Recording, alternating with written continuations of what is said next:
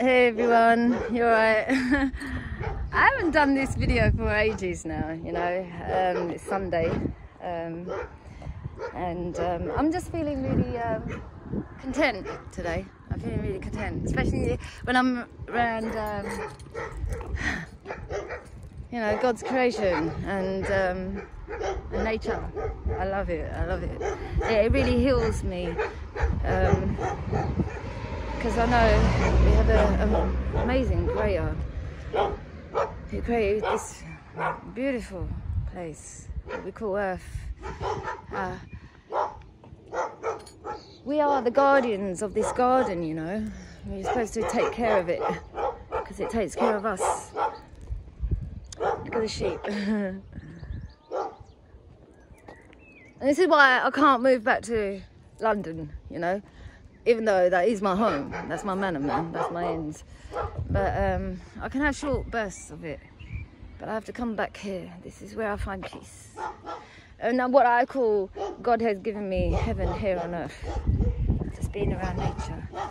So today um, I had a sermon that I was um, listening to on Zoom and uh, it was amazing because it was all about it was all about Jehovah and uh, you know his merciful ways and how we're supposed to um, you know also forgive those who do wrong to us.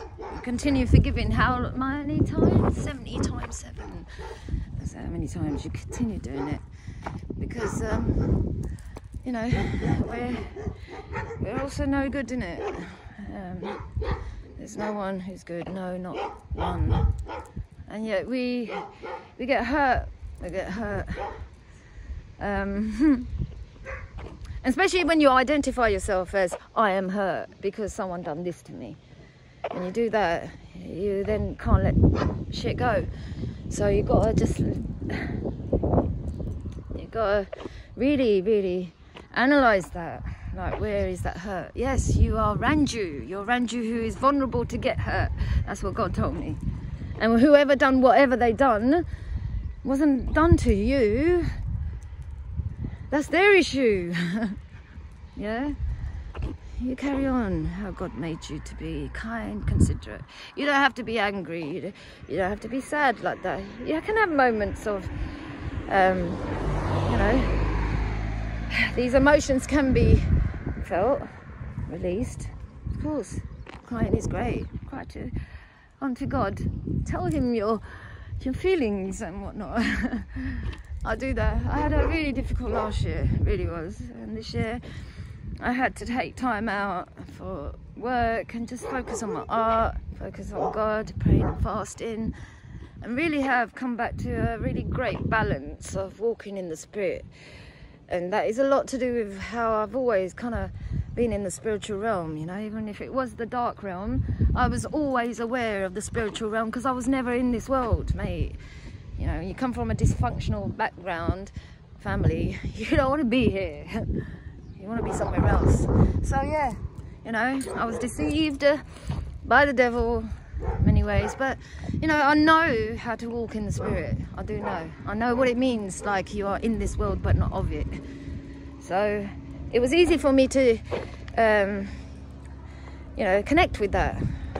You know, I walk in the spirit wherever I go. I don't do anything without God's permission. He gives me lessons which I need to go through. And we have this communication, me and God, you know.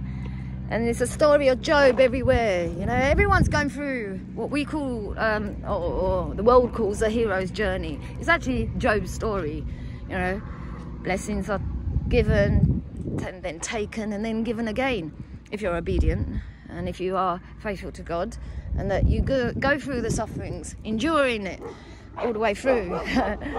and He's refining you like silver, making you strong. Because we'll be a bit ready for His army, man. You know, you've got to be strong in the spirit. Physically, I'm strong. Mentally, I'm strong.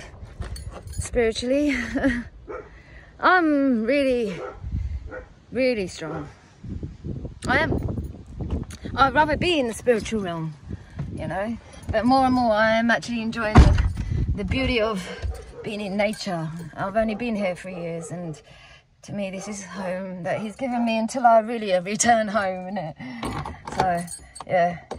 And, um, yeah, I'm having my CBD oil in this for my menopause. It's helping my nerves and I'm using it medicinally.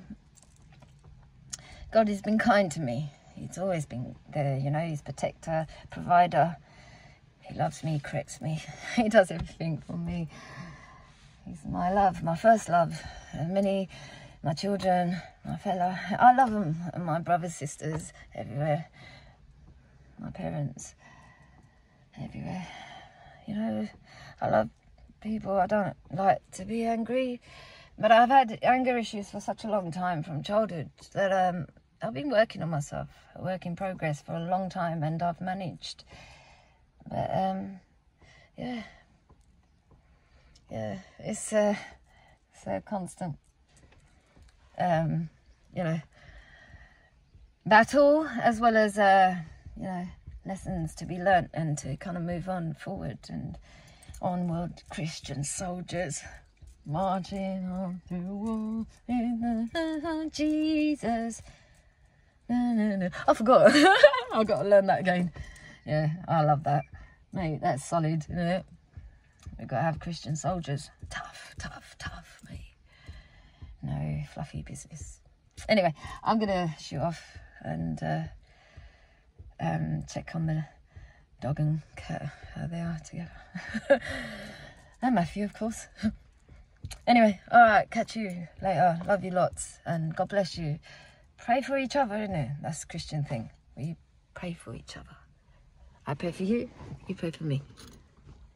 God bless you.